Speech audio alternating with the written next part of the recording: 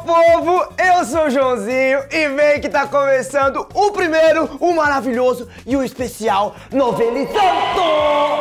Ah, João, o que, que é o novelizando? É a perfeição, é tudo que um Ziner sempre sonhou. Ah, João, você pode prometer isso? É claro que não. Mas na teoria eu não posso prometer nada, né? Mas pode confiar em mim que vai ser bom. Então bora botar a mão na massa, minha galera! E pra começar, a gente vai com o nosso quadro Novela em Debate. Ah, João, o que é isso? A gente pega a teoria de vocês, junta com a nossa e faz uma teoria melhor ainda. Talvez impossível, talvez maluca, mas nada é impossível pra nós, meus amores. E vamos começar com ela, a teoria da Laura Duarte. Vai ser um novo carrossel? É claro que não, porque é outra novela. Mas tá sendo tão incrível, eu juro pra vocês. Gente, essa novela é a perfeição. Você tá assistindo? Você tem que estar tá assistindo porque é incrível, incrível, incrível, incrível. Eu não consigo parar de assistir. Eu tô no Mais SBT, eu tô assistindo na TV, eu assinei até streaming diferentes pra não parar de ver porque eu quero ver toda hora, meu Deus do céu. Ai, Joãozinho, você não é pago pra falar isso? Você tem um ponto. Só que é sério, gente, essa novela tá tão boa que ela já é um, um, hit no meu coração. Inclusive um hit nas plataformas digitais. Vocês já ouviram o álbum completo? Meu Deus, que maravilha. Já dá vontade de dançar aqui, hein, editor? Pet Shop, bolhas e bolhas, aqui é o local do seu animal.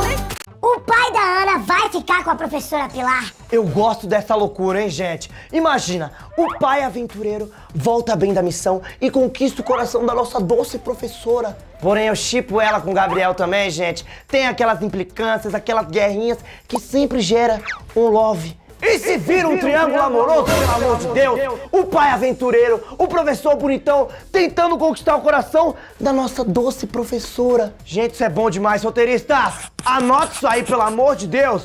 Ah. Essas teorias estão muito boas, tudo maravilhoso, mas que tal se a gente fizesse uma coisinha nova?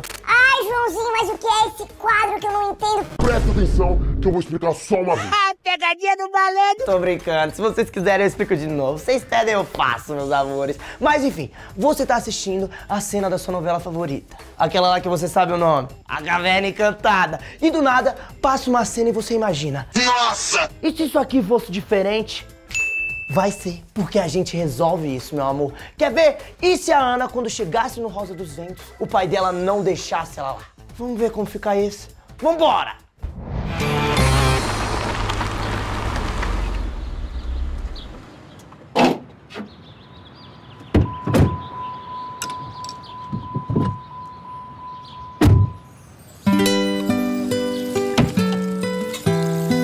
É exatamente o que eu pensava.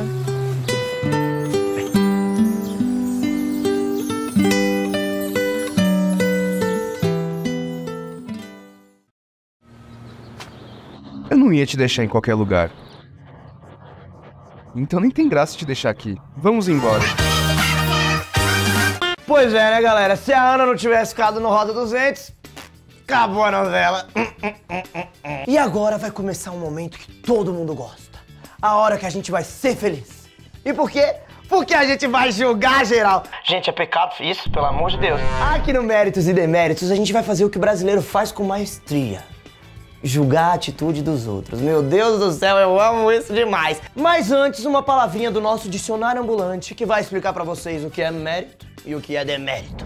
Mérito. Substantivo masculino. 1. Um, merecimento. 2. Direito. A questão central em uma pendência ou no conjunto de fatos e provas que orienta a formação de uma decisão judicial ou administrativa. Merecimento. Demérito. Substantivo masculino. 1. Um, desmerecimento. 2. Adjetivo que não tem mérito ou que perdeu o merecimento. A estímula ou a consideração em que era tido desmérito. Um profissional de Agora que tá explicado tudo nos mínimos detalhes, bora pro nosso quadro! Você nunca brincou de esconde-esconde? Eu tenho cara de quem já brincou de alguma coisa na vida, minha filha. É pra responder mesmo? Enfim, você devia ser grata a mim, porque no seu caso, um demérito ainda é pouco.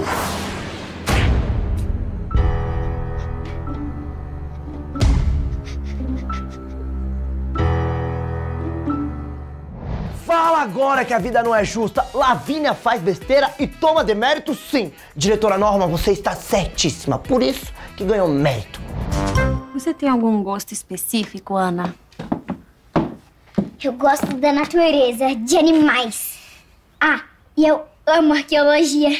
Hum, então tô procurando o livro certo. Achei. Esse livro é fantástico. A gente tá lendo ele nas aulas de leitura. Viagem ao centro da Terra. Tá meio velho, ó.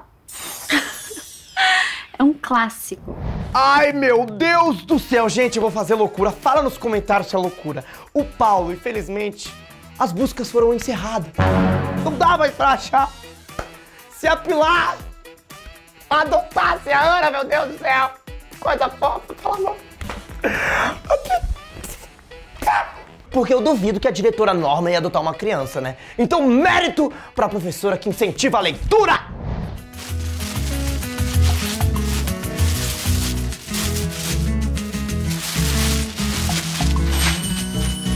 Uma pelúcia? Não. Ele é uma mochila de um bicho preguiça. Eu vi que a sua rasgou lá no Peruaçu, e aí. Parece moleza. Que eu pensei nisso também? Obrigada, pai. Eu amei meu presente.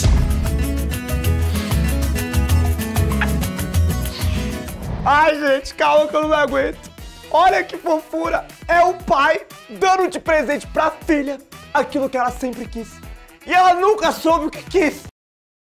Fez sentido não, né? Mas o amor não tem sentido, então é mérito, mérito, mérito. Fofo demais, meu Deus.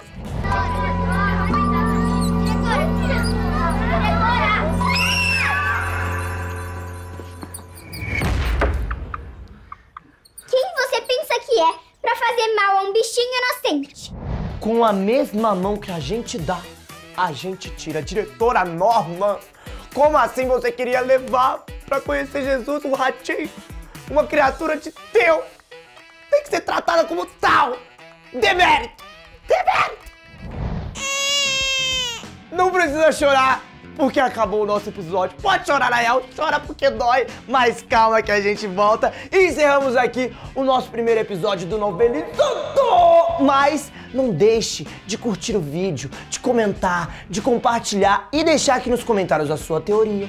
Quem merece entrar no méritos e deméritos, porque vocês sabem, né? Vocês pedem, a gente faz. Vocês mandam, meus amores. Então aproveita que já assistiu o episódio do Novelizando agora e vai assistir mais um episódio de A Caverna Encantada. Um beijo, meu povo!